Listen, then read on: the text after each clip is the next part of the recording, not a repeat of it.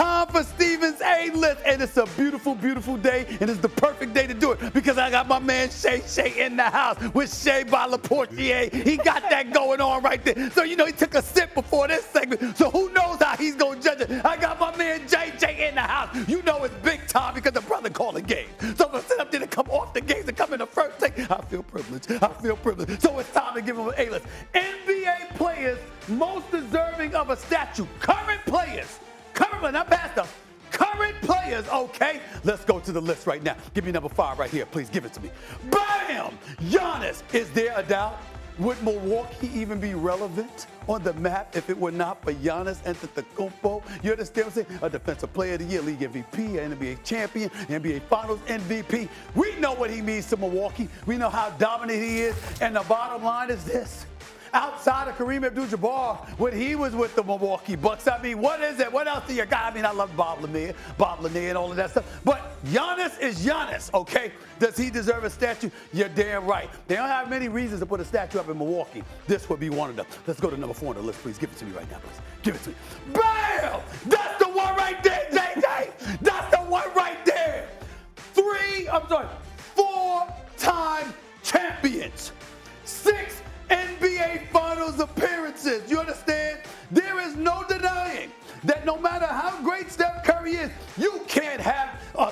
Statue and, excuse me, it's just Steph. You're looking at Clay and Draymond. They both deserve one. If the Lakers could have eight different statues outside of Crypto.com Arena, and one of them was for Oscar De La Hoya, I'm sure you can justify this. All right? Number three on the list, please give it to me right now. Give it to me right now. Give it to me. Where is it? Bam! The Miami Heat. Now, they didn't win all four years. They go to the finals all four years. Two of those times, they won the chip. Beat OKC, Kevin Durant, James Harden, Russell Westbrook. All right. And then after that, of course, they beat the San Antonio Spurs. LeBron is a big time reason why. You damn right he deserves a statue outside of Miami. Pat Riley, work it out. Not before D Wade, though, but work it out. Number two on the list, please give it to me right now. Give it to me. Bam! LeBron James in Cleveland. More than a half century curse, not just over the team, but over all sports in the Cleveland area. They haven't won a championship since Jim Brown was playing JJ. Little historical note for you there. You both, okay? So LeBron James deserves a statue in Miami and Cleveland, but not LA. That would go here to number one. Give it to me right now, please. The one and only Stephen Curry, the greatest shooter God has ever created. What he has meant to this franchise, the leadership, the role model, the assassin, the babyface assassin, the box office appeal that he has brought to the equation, there is no question that when you look at Steph Curry, he deserves a statue. But there should be three. Three of them. One. With LeBron in Cleveland, LeBron in Miami, and mind. Giannis in Milwaukee. That's my list of the top of five current players who deserve a statue. I mean, Steve, Stephen. Shannon, I- go ahead, man. Go ahead. Shannon, please start. Christine, Please you want start.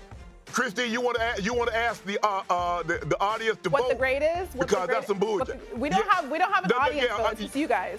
Okay, That's okay. a bull job. What you talking about? Yeah, some bullshit. Let, let me finish. Okay, I got I got most guys. You say most guys deserving of a statue. I Current got player. LeBron, Yeah. Steph Curry, Giannis and Jokic, KD and Kawhi. That's my list. KD and Kawhi. No, I'm going to Yep. disagree with that, but I'll let JJ go first. Go ahead. If I'm not mistaken, I think he just listed the six current players that have been Finals MVPs. Yes, I believe so. Okay, all right. The fact that Nikola Oh, Jokic and hold not, on, LeBron. Le- LeBron is a, the regular season MVP. So is Steph. So is Giannis. So is Jokic. So is KD.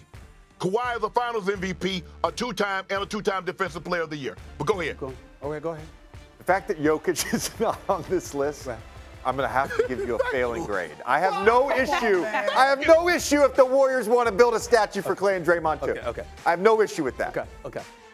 Denver had never won a championship, period. I agree. In the franchise history. right. Nikola Jokic is the best player in that franchise's history. No question. How is he not on this list? Because, How is he not on this list? excuse me, excuse me. You could say he should be on this list, but I don't think he goes on the list ahead of the four titles here.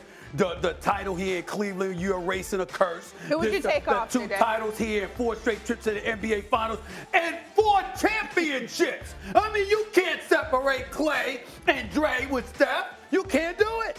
You can't do it. You and by the way, and by listen, I appreciate what KD brings to the table. Two-time NBA Finals MVP. I get all of that.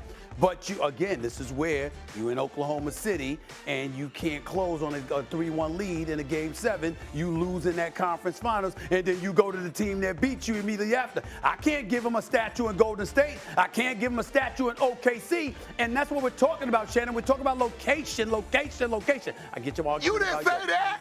No, no, no, no, no, no, no. What I mean is, no, I'm saying a statue, a statue for the team, the franchise. What you mean to that franchise? What LeBron means to Cleveland and the Heat? Oh, that's not the Lakers. It ain't Kobe, Magic, Hold on. Time Kareem. out, Stephen A. Stephen A. So let me ask you this. In the last decade, what were the Lakers before LeBron got there? The Oh, last decade. They were sorry. That's true. And the one good season they had was the lockout short season. But go ahead. Not lockout. I mean Kobe. Uh, they didn't want to. But I Go ahead, JJ. I don't take a title. I- I- s- someone much smarter than me who's done all the research on this could probably answer this question. I don't I don't remember a time where the statue, certainly jerseys hanging in the rafters for second and third best players on championship teams. That has happened before, right? Because Portland Trailblazers Yeah. when they won in the late 70s, they got the entire starting five. Their jerseys are in the rafters, right? Okay. Typically statues are for the best player.